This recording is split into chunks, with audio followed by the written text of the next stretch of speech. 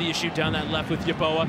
Rayon trying to time it towards Cucho, who tried the flick header off the back of his head, but he came from an offside position.